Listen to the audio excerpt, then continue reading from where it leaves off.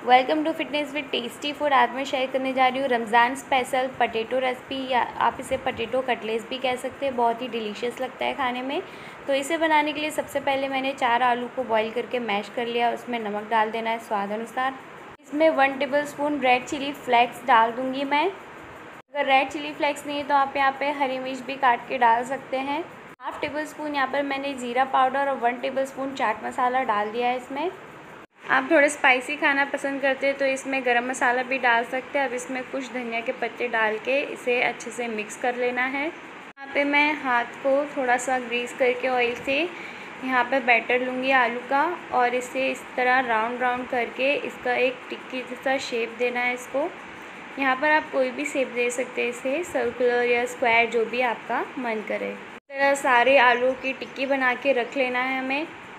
के बाद इन टिक्कियों को कॉर्नफ्लोर में कोट कर लेना है। इसे टिक्की काफ़ी क्रंची बनती है। तो नहीं है तो इसके जगह आप चावल का आटा भी यूज़ कर सकते हैं।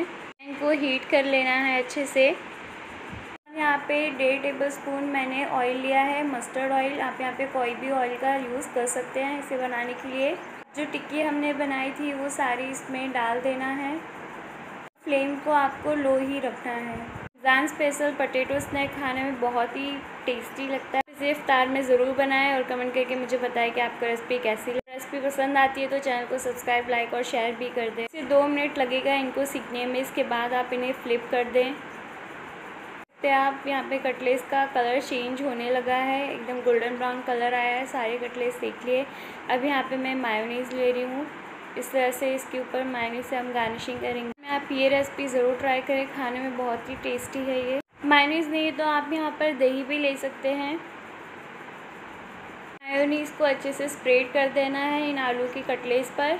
अब मैं यहाँ पर ले रही हूँ ये सीजवान चटनी।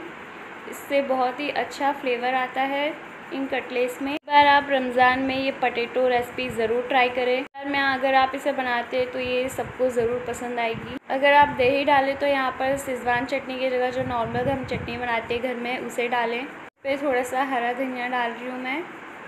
इसे आप गरम गरम सर्व करें और इन्जॉय करें। Thank you so much for watching this video